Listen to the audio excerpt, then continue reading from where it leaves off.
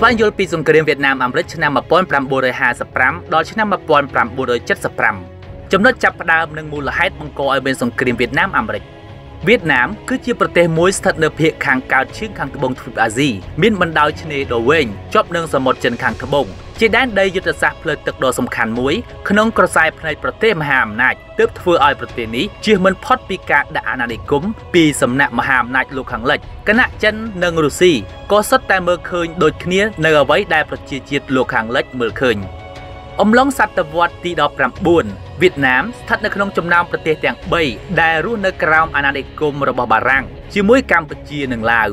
ហើយតំបន់ទាំងមូលត្រូវអាណានិគមបារាំងឲ្យឈ្មោះថាឥណ្ឌូចិនជាតំបន់ដ៏សំខាន់ក្នុងយុទ្ធសាស្ត្រមនោគមវិជ្ជាអំឡុងពេលសង្គ្រាមត្រជាក់ទូឡើង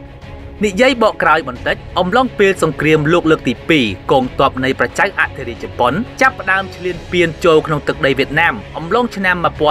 1940តាមរយៈការធ្វើដំណើរពីតំបន់ភាគខាងកើតឈៀងខាងត្បូងប្រទេសចិនហើយនៅឆ្នាំ1941ជប៉ុនបានគ្រប់គ្រងកាន់កាប់ដល់ទឹកដីសៃហ្គនជាទីក្រុងដ៏សំខាន់ដែលពេលនេះមានឈ្មោះថាហូជីមីញនៅឆ្នាំ1945 ពលមុននឹងជប៉ុនចាញ់សង្គ្រាមលោកលើកទី2កងទ័ពវៀតណាម មានឈ្មោះថាវៀតមីង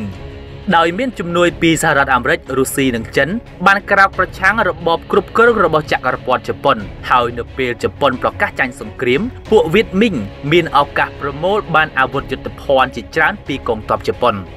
វៀតមីងជានរណា ហើយយុទ្ធសាស្ត្ររបស់ពួកគេជាអ្វី វីតមីងគឺជាកងទ័ពនៃបកកុម្មុយនីសវៀតណាមបង្កើតឡើងនិងដឹកនាំដោយបុគ្គលដ៏មានឥទ្ធិពលឈ្មោះហូជីមីងដែលក្រោយជប៉ុនចាញ់សង្គ្រាមហូជីមីងទទួលបានទាំងជំនួយនិងសភាវុធជ័យភ័ណ្ឌរបស់ជប៉ុនផងនោះនិងចាប់ផ្ដើមងើបបះបោប្រឆាំងអាណានិគមបរទេសនិងប្រកាសឯករាជ្យពីបារាំងដោយឯកតោភាគី នៅថ្ងៃទី2ខែកញ្ញាឆ្នាំ1945បង្កើតចេញជាផ្កាភ្លើងនៃសង្គ្រាមក្នុងឧបទ្វីបឥណ្ឌូចិនលើកទី1ចាប់ផ្ដើមអំឡុងខែធ្នូឆ្នាំ1946 នៅដើមទសវត្សរ៍ឆ្នាំ1950ចំនួនរវាងវៀតមីងនិងបារាំងជាមួយវៀតណាមនៅឯភាគខាងត្បូងបានក្លាយជាឧបករណ៍ដ៏សំខាន់នៅក្នុងសង្គ្រាមត្រជាក់ដោយនៅខែមករាឆ្នាំ1950សាធារណរដ្ឋប្រជាមានិតចិននិងសហភាពសូវៀតបានប្រកាសទទួលស្គាល់សាធារណរដ្ឋប្រជាធិបតេយ្យវៀតណាមរបស់ពួកវៀតមីង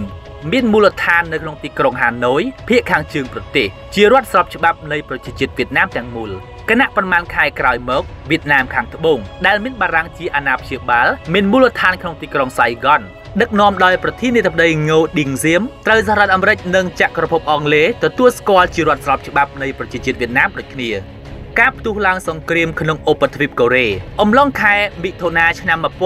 1950បានធ្វើឲ្យអ្នកនយោបាយសំខាន់សំខាន់ក្នុងរដ្ឋធានីវ៉ាស៊ីនតោនយល់ឃើញថាសង្គ្រាមនៅឥណ្ឌូចិនគឺជាឧបករណ៍ជាក់ស្ដែង ការរីកចម្រើននៃលទ្ធិកុម្មុយនីសដែលដឹកនាំផ្ទាល់ដោយសហភាពសូវៀតដូច្នេះចង់ឬមិនចង់សហរដ្ឋអាមេរិកត្រូវតែលូកដៃចូលក្នុងសង្គ្រាមនេះដើម្បីការពារលទ្ធិប្រជាធិបតេយ្យនៅអាស៊ីអាគ្នេយ៍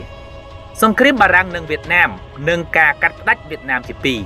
ទីប្រឹក្សាយោធាមកពីសាធារណរដ្ឋប្រជាមានិតចិនចាប់ផ្ដើមជួយផ្ទាល់ដល់កងទ័ពវៀតមីង អំឡុងខែកក្កដាឆ្នាំ1950ទាំងការបញ្ជូនអាវុធយុទ្ធភ័ណ្ឌជាអ្នកជំនាញនិងកម្មករទៅភៀកខាងជើងប្រទេសនេះជាហេតុនាំឲ្យមានការផ្លាស់ប្ដូរកងទ័ពវៀតមីញពីទ័ពព្រៃក្លាយទៅជាកងទ័ពពិតប្រាកដនិងខ្លាំងក្លាអំឡុងខែកញ្ញាឆ្នាំ1950សហរដ្ឋអាមេរិកបានបញ្ជូនក្រុមប្រឹក្សានិងជំនួយផ្នែកយោធាទៅវៀតណាមខាងត្បូងដើម្បីឆ្លើយតបទៅនឹងការសុំជំនួយពីបារាំងផ្ដោតសំខាន់ប្រឹក្សាលើផ្នែកយុទ្ធសាស្ត្រនិងបង្វឹកទាហានវៀតណាម បើទោះជាមានជំនួយពីអាមេរិកសង្គ្រាមនៅតែបន្តរ៉ាំរ៉ៃរវាងបារាំងនិងវៀតមីងហើយនៅថ្ងៃទី7ឧសភាឆ្នាំ1954ដោយសារមូលដ្ឋានទ័ពដ៏រឹងមាំរបស់បារាំងនៅឌៀនបៀនភូលើកទង់ចោះចាញ់ពួកវៀតមីងនាំឲ្យបង្កើតបានជាថ្ងៃប្រវត្តិសាស្ត្រនៃការបញ្ចប់វត្តមានរបស់កងទ័ពបារាំងលើទឹកដីឥណ្ឌូចិន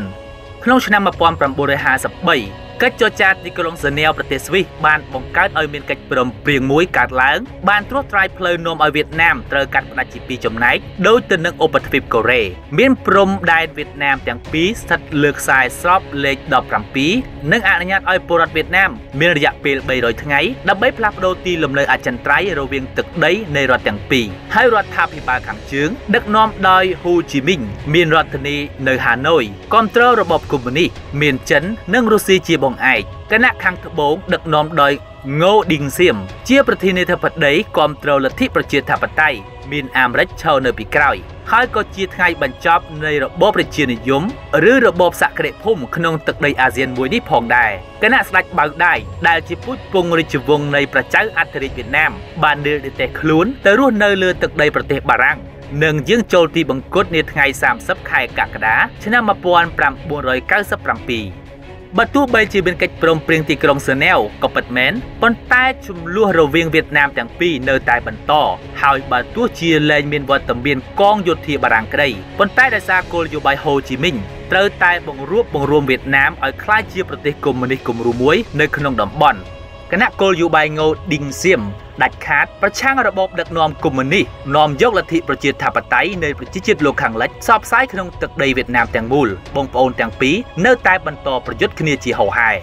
ក្នុងឆន្ទៈបង្រួបបង្រួមជាតិដូចគ្នាប៉ុន្តែទស្សនៈនៃមនោគមវិជ្ជាផ្ទុយគ្នាមិនអាចធ្វើឲ្យវៀតណាមទាំងពីរបង្រួបបង្រួមចិត្តដោយសន្តិវិធីបានឡើយហើយជាមូលហេតុនាំឲ្យសង្គ្រាមវៀតណាមបន្តផ្ទុះជាហូរហែជីវិតទាហាន និងពលរដ្ឋស៊ីវិលស្លាប់កើនឡើងពីមួយឆ្នាំទៅមួយឆ្នាំបើចូលចិត្តកុំភ្លេចចុច like និង share ឬចុចលើប៊ូតុង See First ដើម្បីទទួលព័ត៌មានថ្មីៗ